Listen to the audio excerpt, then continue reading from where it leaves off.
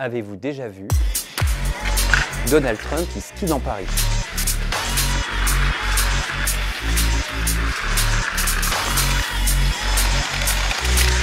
Maintenant, oui.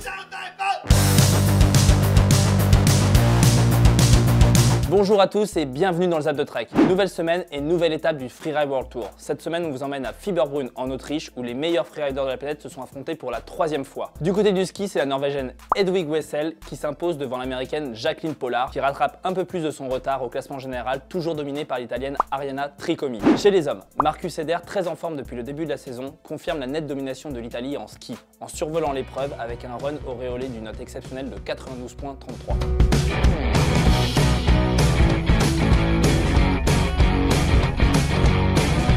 la dernière marche du podium, on retrouve notre français Léo Slemet qui réalise là sa meilleure performance de la saison. Parlons maintenant snowboard, enfin parlons maintenant du moment Cocorico. C'est simple et efficace, on prend les mêmes et on recommence. Marion Aerty remporte sa deuxième épreuve de la saison devant la russe Anna Orlova et l'américaine Erika Vikander grâce à un run fluide et engagé dont voici les plus jolis moments.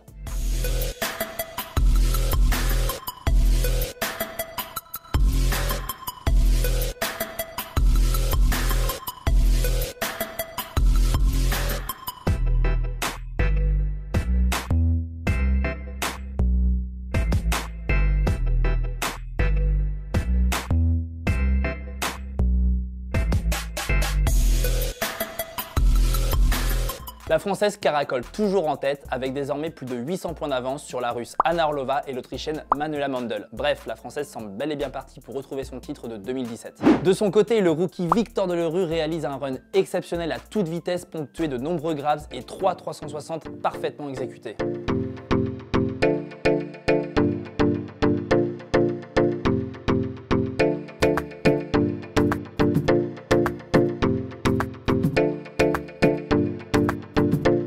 Il termine assez logiquement sur la plus haute marche du podium devant les Américains Davy Bird et Sami Lupke, le triple tenant du titre, qui le talonne également au classement général. La prochaine et déjà avant-dernière étape du Freeride World Tour, c'est en Andorre à Valnor Arcalis et ce sera la semaine du 2 au 8 mars. Mais d'ici là, rendez-vous dimanche à 17h sur Trek pour revoir les meilleurs moments de cette étape autrichienne. Changement d'ambiance, changement de décor avec l'annonce qui a fait du bruit la semaine dernière. Le king du surf, Kelly Slater, va retrouver la compétition à l'occasion du Visla Sydney Surf Pro, le troisième QS 6000 de la saison qui aura lieu mi-mars en Australie. C'est la toute première fois que le 11 fois champion du monde va devoir passer par les qualifying series afin de réintégrer le tour principal. Pour vous, est-ce un aveu de faiblesse? En tout cas, on a hâte de revoir le champion de surf sur les planches pour qu'il nous fasse des trucs de dingue comme ça.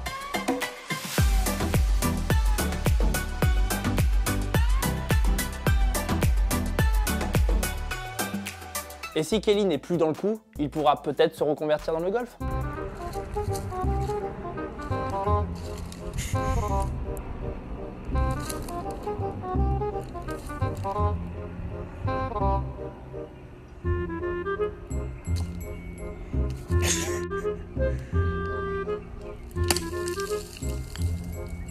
Retournons sur la terre ferme avec une nouvelle étape de l'Ultra Trail World Tour, la Trans Gran Canaria. L'île de Grande Canarie, en Espagne, accueillit la troisième étape de l'Ultra Trail World Tour, la première sur le sol européen. La Trans Gran Canaria, c'est quoi? 128 km, 7500 mètres de dénivelé positif et une ambiance printanière en plein mois de février. Et à la fin, c'est la polonaise Magdalena Laczak et l'espagnol Pocapel, les deux tenants du titre, qui l'emportent. C'est d'ailleurs la troisième année consécutive que l'espagnol monte sur la plus haute marche du podium. Et notez bien, son chrono en 2018, c'est 12 h 42 minutes et 8 secondes. En 2019, 12 h 42 minutes et 40 secondes. Côté français, on s'en sort très bien avec la jolie quatrième place de Julien Chaurier et la septième de Romain Olivier. Mais si vous devez retenir qu'une seule information du week-end, c'est celle dont on va parler maintenant. Moment badass, jingle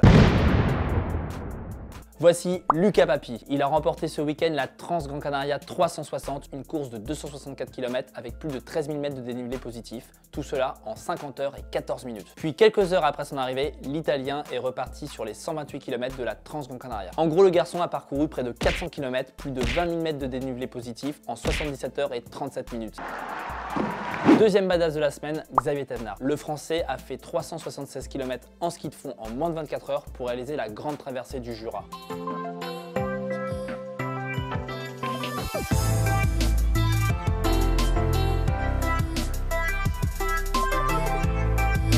grande première, un exploit monumental avec 8000 mètres de dénivelé positif et négatif, une moyenne de plus de 16 km par heure, et tout ça pour récupérer une saucisse de morteau. Et en plus, Xavier vient d'être inscrit à la liste des coureurs de l'UTMB, ce qui veut dire qu'en moins de 6 semaines d'intervalle, il va réaliser la Hard Rock 100 et l'Ultra Trail du Mont Blanc. Quelque chose nous dit qu'on risque de voir Xavier s'imposer pour le titre de badass de l'année. C'est fait Free Solo. Free Solo. Free Solo a remporté l'Oscar du meilleur documentaire de l'année. Ce film retrace l'ascension sans corde, sans assistance et à main nue d'El Capitan par le prodige de l'escalade Alex Honnold.